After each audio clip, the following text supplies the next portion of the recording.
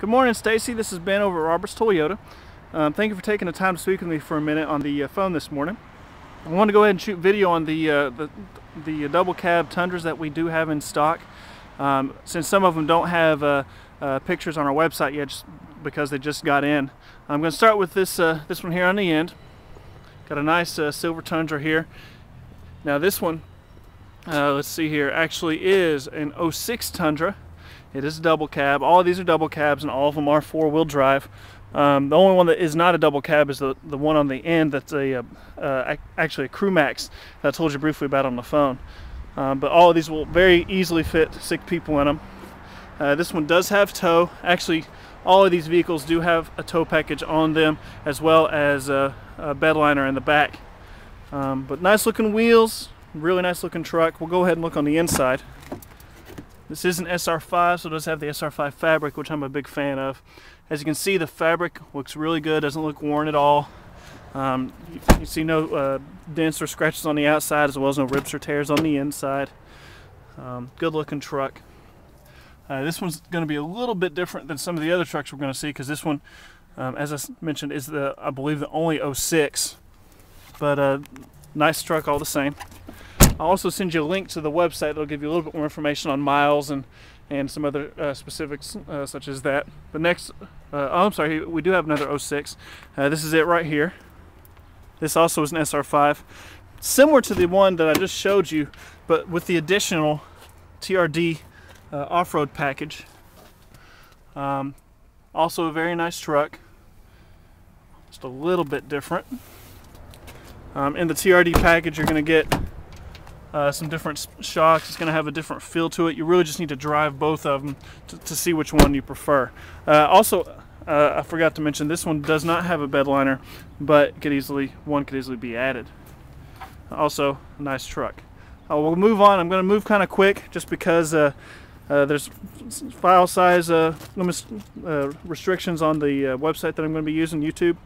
next is this truck here. Now this one is kind of a, a unique bird.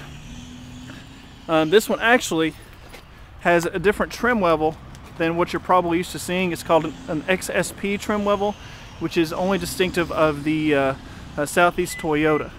Um, but still, I actually personally, I, I, really like this truck. It's a very nice looking truck.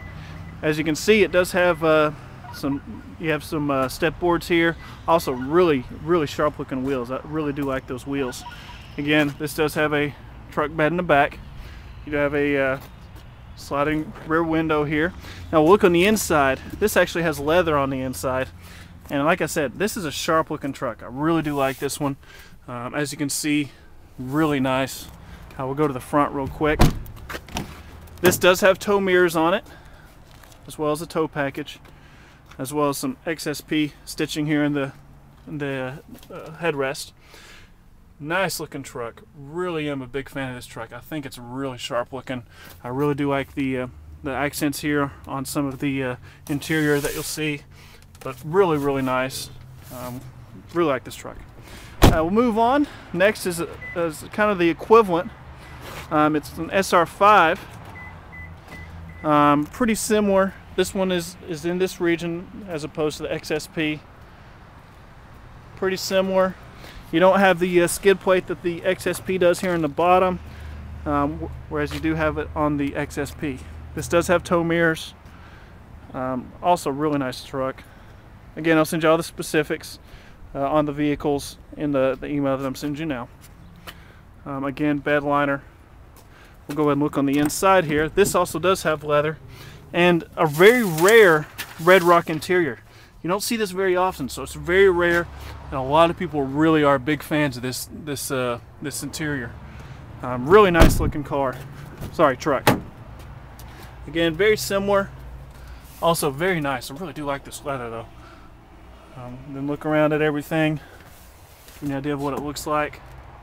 Again, nice, nice looking truck. Um, also, one thing of note that you may that you really don't often see, this actually does have a DVD headrest in both sides. Uh, so very nice uh, option to have, especially if we can have some people in the back. But nice added option. someone spent spent some money on this truck, that's for sure, because it does look nice. Uh, next and finally, we have an 07. Now bear with me while I find the keys. Let me see if I can get lucky here and find the right set. Let's see. Oh, almost got it. And last set.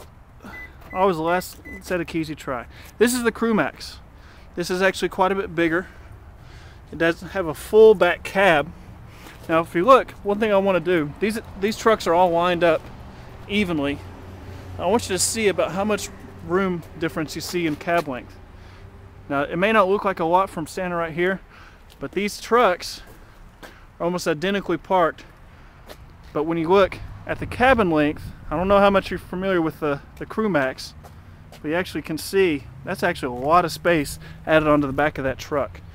Um, this one is really sharp looking. Does have a TRD off-road package, as well as I really like these black uh, tail uh, tail headlights or tail lights. Sorry, really nice, great looking truck. We'll go on the inside, just show you how much room there is. I mean, you can almost uh, play football back here. I mean, it's really nice. Tons of room. Great looking truck. Go on the front here just to see. This, I believe, is the only one that does have a CD changer in it. So you can basically put all your CDs in the dash. It is an in-dash CD changer. Again, all of these are four-wheel drive and all are very nice trucks. Um, but if you have any questions on any of these trucks, please let me know. They all are all very nice. Um, you can easily uh, reach me by calling me here at the dealership, 931-388-3006, or you can just reply to the email that I'm sending you now. But again, really nice trucks. If you have any questions on them, please let me know. I'll be I'll be more than happy to help you. Thank you and look forward to hearing from you.